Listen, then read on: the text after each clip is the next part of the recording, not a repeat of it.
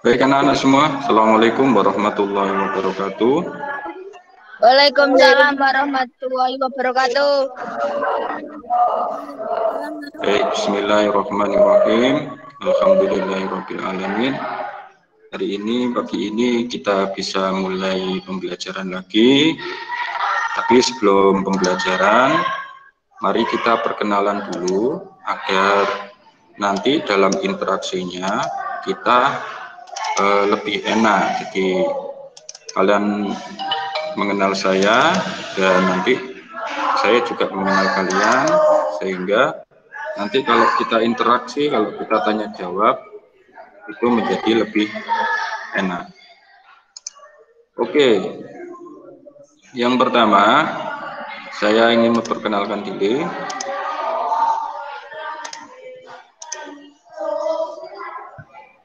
Sudah tampil papan tulisnya anak-anak? Sudah tampil papan tulisnya? Di layar HP kalian?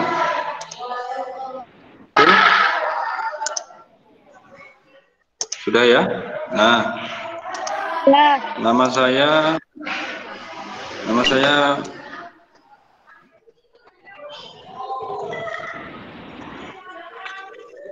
Nama saya adalah Pak Jeffrey Adi Setiawan. Kalian cukup panggil saya dengan Pak Jeffrey. Nah, nanti bersama saya kalian akan belajar eh, mata pelajaran IPA selama di SMP Negeri 4 Kragen insya Allah. Nah, karena kita situasinya masih pandemi seperti ini, anak-anakku semua, maka pembelajaran kita laksanakan seperti ini dulu. Jadi kita tatap muka tapi tatap mukanya virtual. Tatap mukanya virtual atau dalam istilah yang lain online seperti ini. Sama saja. Asal kalian bisa mengikuti dengan baik di rumah, kita bisa belajar dengan baik.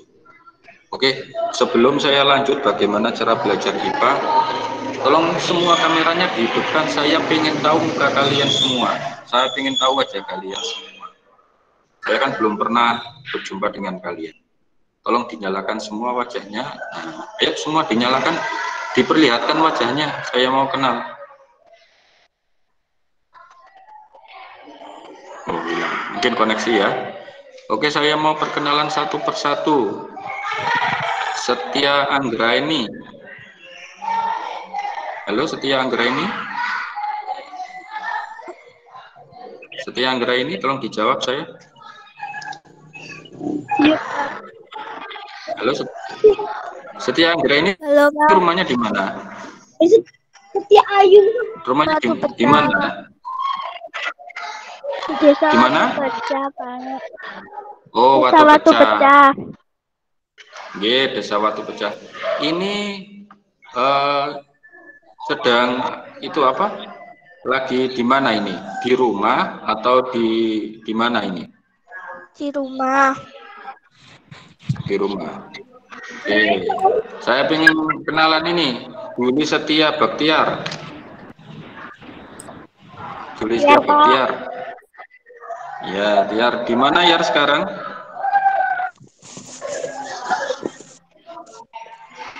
Tiar di mana sekarang Tiar? Di rumah atau ikut ibu di SMP malah? Gimana ya?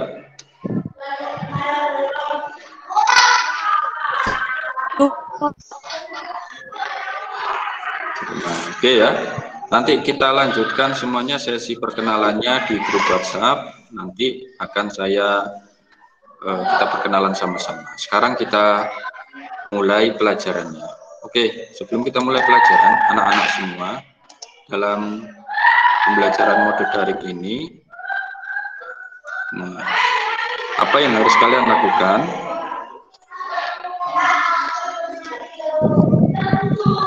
harus dilakukan satu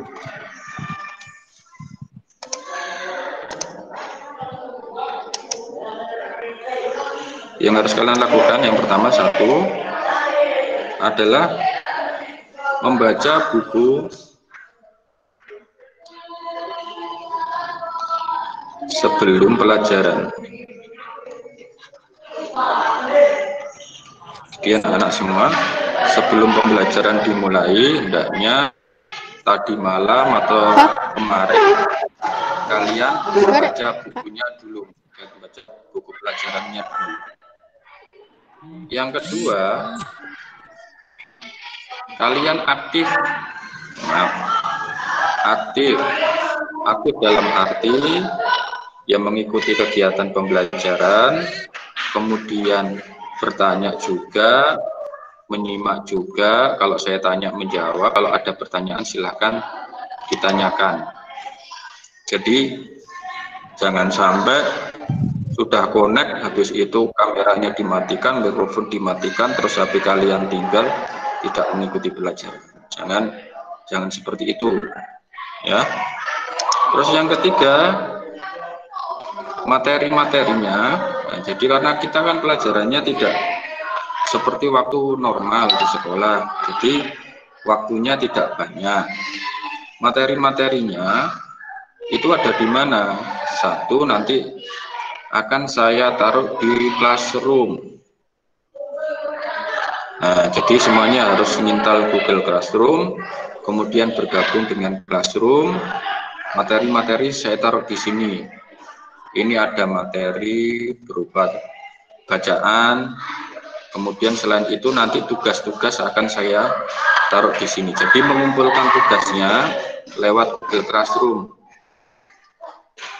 Mengumpulkan tugasnya lewat Google Classroom, bukan dikirim lewat WA langsung.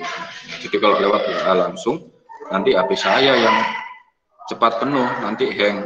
Nah, jadi kirimnya Google Classroom. Cara mengumpulnya bagaimana? ditulis di kertas jadi kalau mengumpulkan tugas ya tulis kertas atau tulis di buku kemudian difoto dan dikirim di Google Classroom mudah sekali Pak kemudian kalau ada materi-materi tambahan berupa video maka akan saya posting di YouTube di YouTube saya channelnya sesuai nama ini, nama saya Jeffrey Adistiawan. Ini juga channel YouTube. Nah, jadi kalian boleh subscribe supaya tidak ketinggalan materi-materinya atau dilihat secara berkala materi-materinya. Jadi saya tidak setiap hari ngomong anak-anak ada materi, ada anak ada materi tidak. Jadi kalian sekarang sudah SMP berarti sudah harus bisa mandiri, tidak setiap saat nanti eh, kalian saya kabari ada materi. Pokoknya rajin-rajin ngecek Google Classroom sama ngecek YouTube, nanti materi-materi akan saya posting di situ. Jadi yang penting belajar di rumah sebelum pelajaran, kemudian aktif dalam Google Meet seperti ini, baik mengikuti kemudian e, menjawab pertanyaan, berdiskusi, boleh di sini, dan aktif melihat materi-materi yang ada di Google Classroom. Informasi saja, baru 14 anak dari sekitar 20 anak yang sudah bergabung dengan Classroom IPA. Jadi setengahnya masih belum. Silahkan kalian segera bergabung. Baik anak-anak sampai di sini tentang petunjuk cara belajar bisa dipahami semua? Bisa, Pak. Bisa. Baik. Sekarang tugas yang pertama, saya ingin kalian absen dengan cara ketikkan nama kalian di kolom chat di Google Meet ini, tuliskan nama lengkap kalian, kemudian alamat rumahnya di mana. Ya. Tulis nama, dan alamat di kolom chat. Oke, saya tunggu di sini. Saya tunggu sekarang. Ayo silakan ditulis.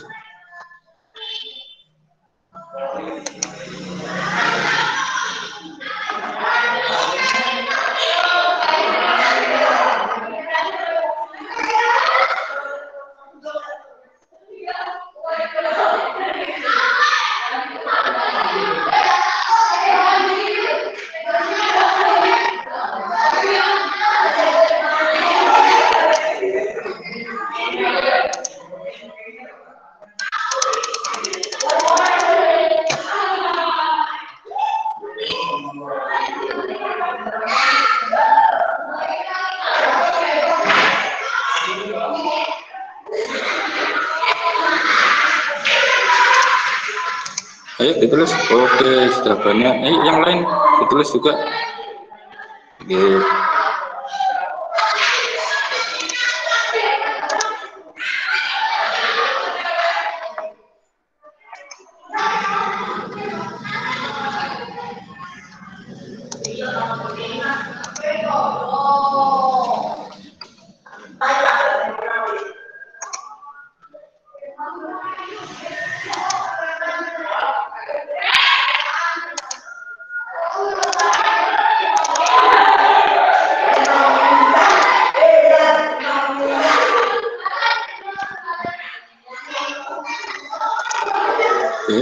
Yang menuliskan. Baik, terima kasih.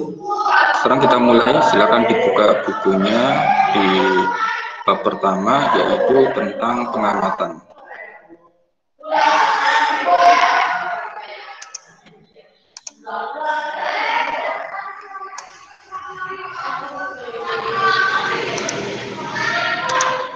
Oke, sekarang kita masuk ke bab ini, objek IPA dan pengamatannya. Ini saya tampilkan uh, buku kalian di sini sama saja.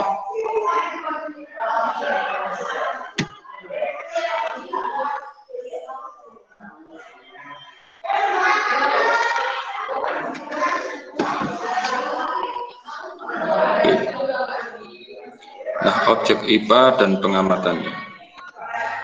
Baik anak-anak semua, ini adalah materi di awal bab kalian. Materinya adalah objek IPA dan pengamatan. Jadi kita akan mempelajari dua, yaitu objek IPA dan cara pengamatan objek IPA. Pengamatan itu bukan berarti di apa? Pengamatan itu bukan hanya sekedar dilihat saja, tapi nanti ada langkah-langkahnya. Kita masuk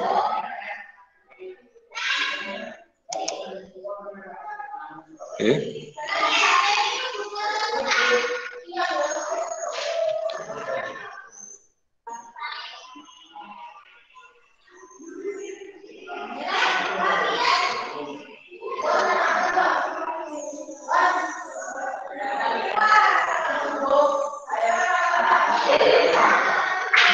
Nah,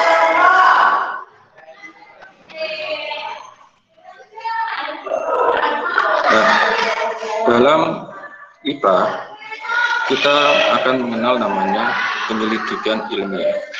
Jadi bukan penyelidikan biasa, tapi penyelidikan ilmiah. Dalam melakukan pengamatan objek-objek IPA, kita akan menggunakan namanya metode ilmiah. Nah, metode ilmiah itu apa? Metode pengamatan yang memenuhi kaidah-kaidah ilmiah. Jadi dalam metode ilmiah itu yang menjadi dasar paling utama itu adalah logis dan ada sandaran ilmunya. Tidak boleh di sini dalam penyelidikan ilmiah itu menggunakan prasangka atau dugaan saja. Contohnya, misalnya kalian sedang melakukan pengamatan, kalian melihat sebuah pohon, kemudian pohon itu tiba-tiba roboh sendiri. Nah, di situ kalian melakukan penyelidikan. Kenapa pohon ini roboh? Yang tidak ilmiah itu, misalnya contohnya begini, oh pohon itu roboh karena e, misalnya diganggu makhluk halus, atau misalnya ya yes, karena takdirnya. Nah, dalam IPA kita harus menyelidiki kenapa pohon itu roboh. Kalian melakukan pengamatan. Oh ternyata dalam pohon ini di dalamnya ada jamur atau dilubangi oleh makhluk hidup misalnya dikerikiti tupai. Nah seperti itu namanya penyelidikan ilmiah. Oh karena tadi malam hujan deras sehingga anginnya kencang sehingga akarnya mulai goyah. Nah itu ilmiah. Nah kata kunci dalam eh, pengamatan ilmiah yaitu satu pakai panca indera kalian, pakai mata untuk melihat misalnya contoh ya, saya mengamati sebuah meja.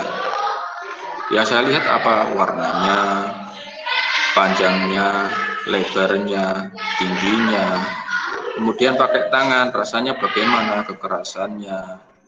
Nah, Kemudian termasuk dengan menggunakan alat ukur yang sesuai. Nah, menggunakan alat ukur yang sesuai. Nah, setelah data-data itu kalian dapatkan di sini, maka selanjutnya adalah dengan membuat inferensi. Merumuskan penjelasan itu tujuannya apa? Digunakan untuk menemukan pola-pola baru atau menemukan hubungan-hubungan antara data-data tersebut. Kemudian kalian membuat kesimpulan dan mengkomunikasikan atau sekarang kalau bahasanya di-share. Jadi menginformasikan kepada semua semua apa hasil pengamatan kalian. Nah, sekarang dari ini kita akan latihan saja melakukan pengamatan ilmiah. Nah, Sebelumnya kita lihat dengan belajar IPA itu apa sih yang kita dapatkan? Nah, dengan belajar IPA itu satu kamu bisa memahami hal-hal sekitar kita. Mengapa matahari bersinar? Kemudian mengapa daun berwarna hijau? Yang kemudian meningkatkan kualitas hidup, menyelesaikan segala permasalahan yang ada dan berpikir logis sistematis. Berpikir logis itu berpikir ilmiah tadi tidak berdasarkan dugaan tapi berdasarkan ilmu pengetahuan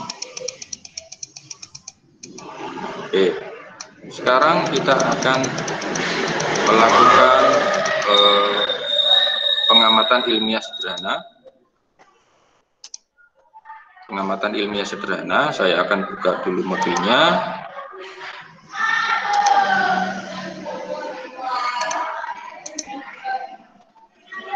ini adalah pengamatan ilmiah sederhana. Oke Oke.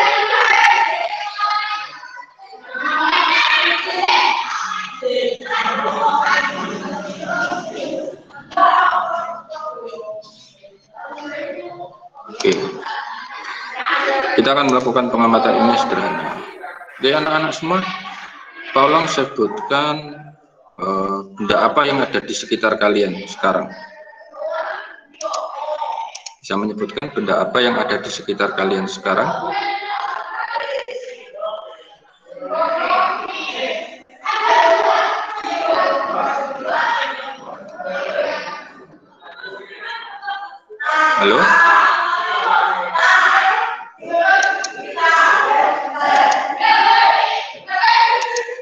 Kita akan belajar melakukan pengamatan ilmiah. Oke, tugas hari ini yang pertama adalah membuat pengamatan ilmiah.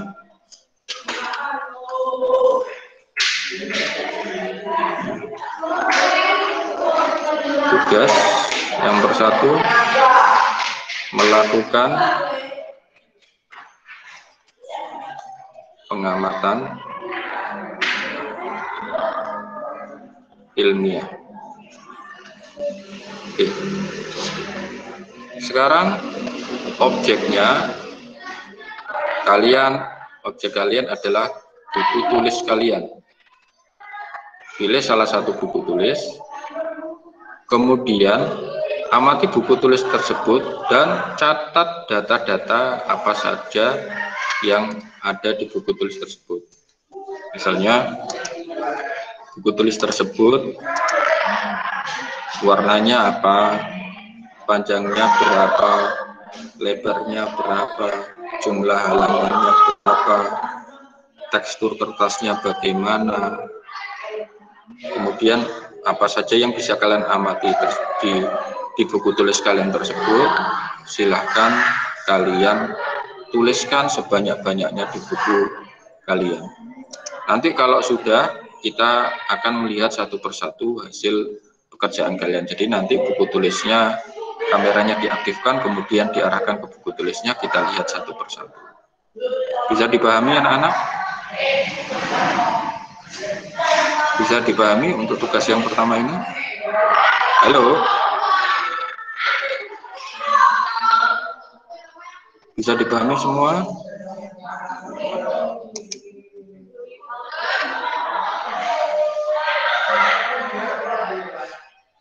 Bisa dipahami tugas yang saya berikan? Anak-anak? Oke. Saya ulangi lagi. Amati buku tulis kalian dan catat data apa saja. Misalnya panjangnya, bisa juga lebarnya, bisa juga tingginya, bisa juga warna, bisa juga teksturnya, bisa juga yang lainnya. Tuliskan sebanyak-banyaknya yang mampu kalian amati dari buku tulis. Oke. Bisa dipahami anak-anak semua? Tolong saya dijawab. Tolong saya dijawab.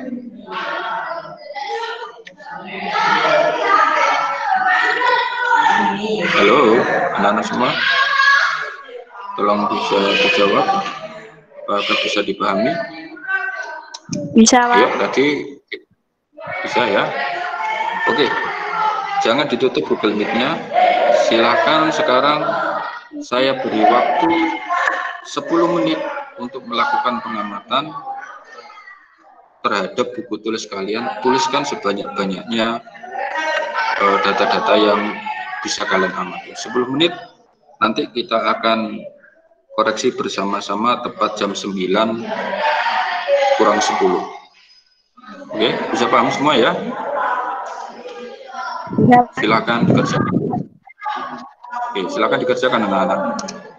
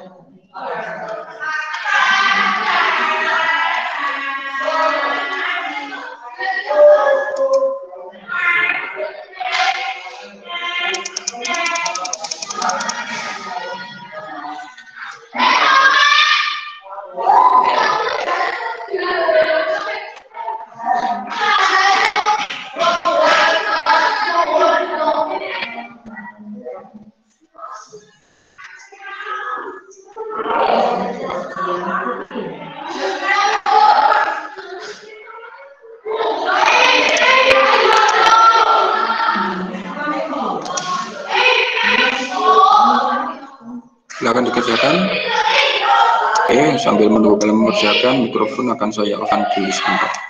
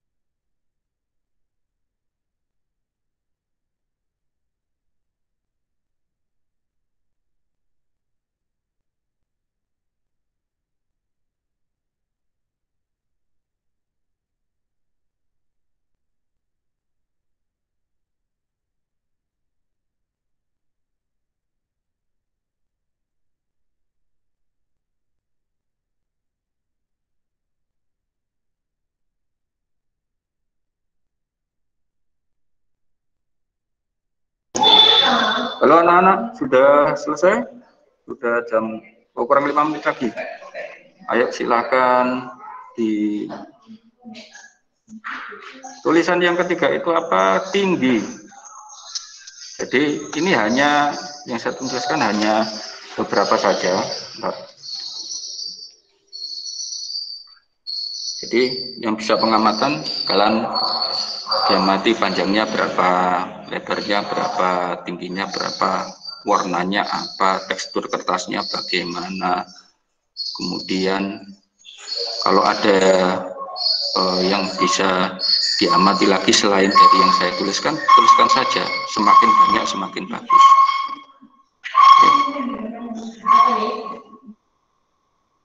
Bahas bersama-sama anak-anak semua.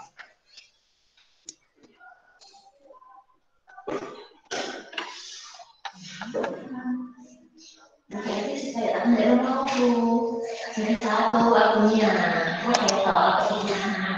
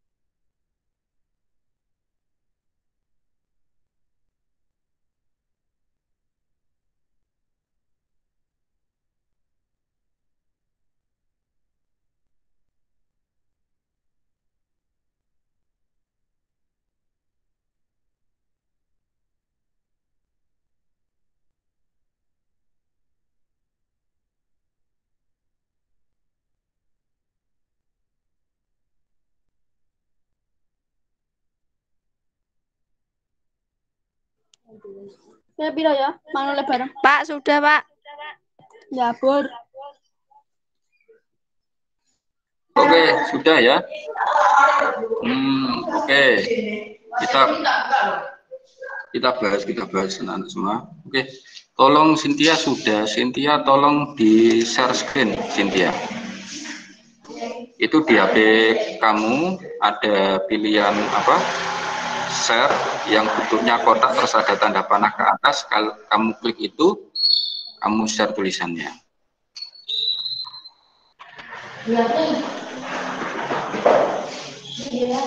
Atau kalau sulit, itu kamu foto semuanya kalau sudah ya, kalau sudah mengerjakan tolong difoto dan kirim di grup WhatsApp.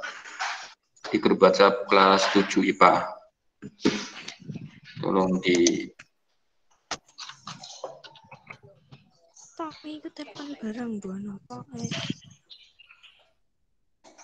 ya jadi di, uh, ditaruh di dikirim di grup WhatsApp.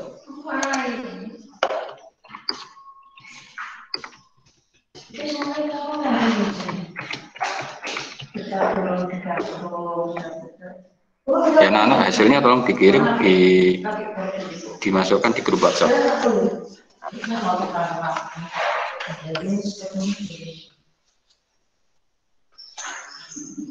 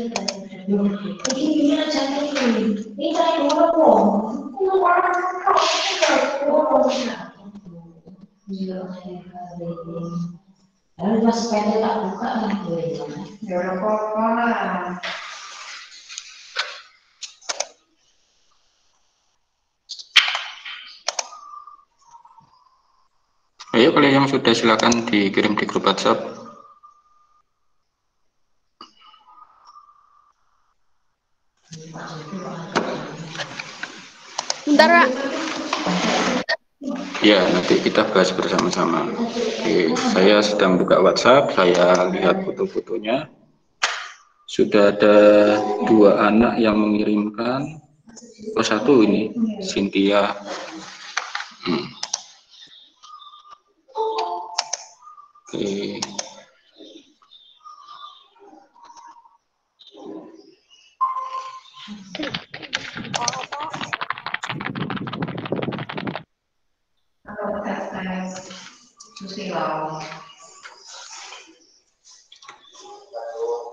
Baktiar sudah selesai, Baktiar.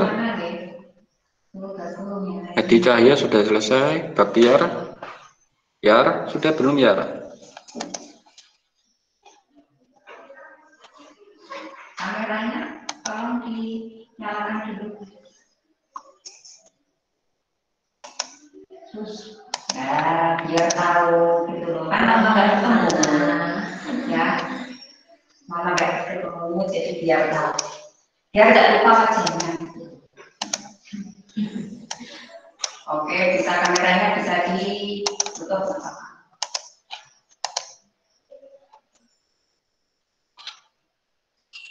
sambil nunggu temannya deh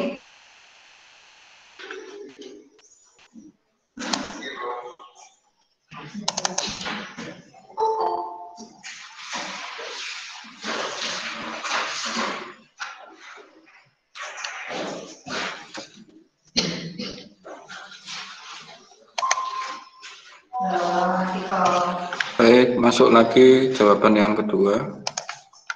Uh, jawaban yang selanjutnya maksudnya dari dari siapa ini? Dari Edi.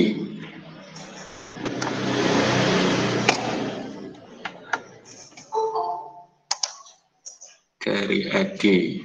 Nanti kok, nanti kok.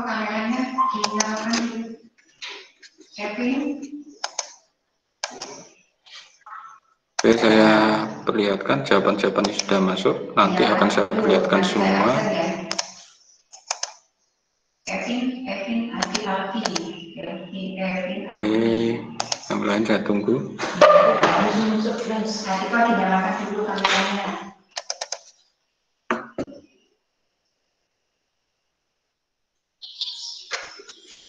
Dari Edi sudah masuk.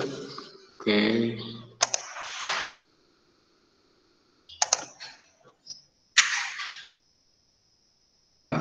Jawaban dari Cynthia. Iya, Cynthia ya. Ini jawaban dari Iya, saya lupa lagi, lagi dikasih nama. Oke, Cynthia. Objek pengamatannya buku tulis. Warna bukunya putih, isinya 38 lembar, panjangnya 21 cm, teksturnya halus, tingginya 20 cm. Baik, boleh. Ya, betul. Ini melakukan pengamatan ilmiah. Kemudian yang sudah masuk kedua, ini Dina Indah Oktavia. Nah, dari Dina Indah Oktavia, objeknya buku tulis, coraknya gambar batik, ditambahi ada pengamatan corak. Bagus. Kemudian panjangnya 20 cm, lebarnya 15 cm, warna putih, tekstur halus, mudah robek, mudah menyerap air. Bagus, tambah rinci, tambah bagus. Bentuknya persegi, kegunaannya untuk menulis sesuatu, isinya 58 lembar. Baik, eh, ada tambahan objek dan teksturnya lebih mendetail. Ini bagus sekali, bagus sekali. Oke, mungkin dua itu saja yang eh, yang saya tampilkan. Karena ini saya juga sedang mengalami kendala sinyal, jadi tidak bisa membuka jawaban yang lain. Uh, jadi cara melakukan pengamatan seperti ini. Jadi tulis data-datanya sebanyak-banyaknya. Baik anak-anak semua, uh, sampai melakukan pengamatan seperti ini, apa ada yang ditanyakan? Beda, Pak. Tidak, baik. Tidak, oke. Setelah ini saya akan memberikan tugas atau PR untuk kalian nanti cara mengumpulkannya adalah lewat Google Classroom. Nanti akan saya buatkan uh, judulnya adalah PR pengamatan. Nah, bagaimana pengamatan yang mau dilakukan? Nah, pengamatannya seperti ini. Akan segera tampil, mudah saja. Bentar,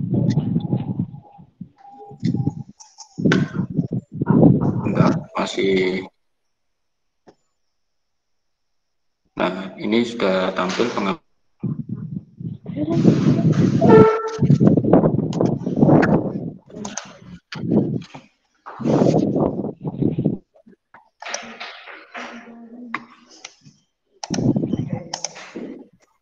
Nah, ini pengamatannya.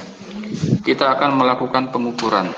Jadi, hal yang diukur ada lima seperti itu. Uh, ini lima hal yang insya Allah ada di rumah kalian masing-masing. Kalau tidak ada ya uh, bisa ke rumah temannya. Lima benda itu apa saja? Ada meja, maaf ada buku yang pertama. Buku apa kita sepakati? Buku paket IPA. Buku paket IPA. Biar sama semua. B, uh, terutama panjangnya. Panjangnya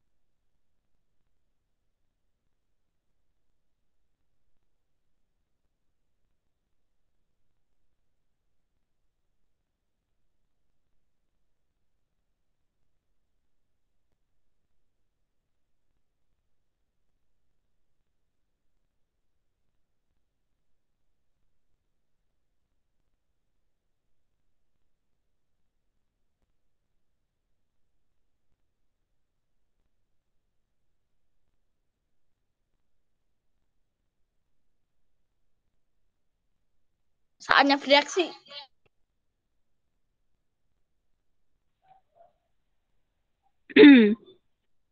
Apa ge?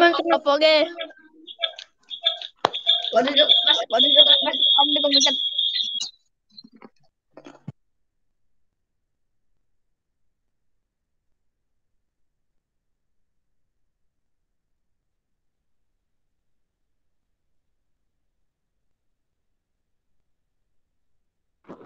Para murid-murid.